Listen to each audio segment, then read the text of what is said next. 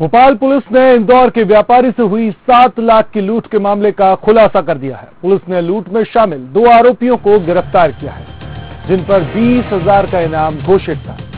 घटना 29 जनवरी की है, जब व्यापारी कैलाश चंद्र श्रीवास्तव व्यापारियों से कलेक्शन लेकर घर लौट रहे थे, तभी रास्ते में बदमाशों ने उन्हें निशाना बनाया पुलिस ने आरोपियों से लूट की रकम के पाँच लाख चालीस हज़ार रुपए बरामद कर लिए हैं।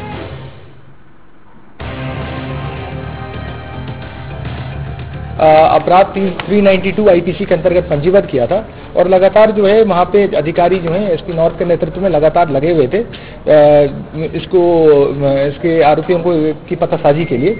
इस परिदृश्य में हम लोगों ने बीस हज़ार रुपए के इनाम की घोषणा भी की थी और विवेचना के दौरान जो है दो दो आरोपियों को गिरफ़्तार किया गया है। एक का नाम है राजकुमार, पिता मुन्ना लाल प्रजापति, उम्र बाईस वर्ष नूरपुरा सिलवानी का रहने वाला है। और दूसरे का नाम है सोनू पिता हरीश कुमार महावर। 19 वर्ष ये महामाई का बाद गुरु मंदिर के बाद ऐशबाग भोपाल।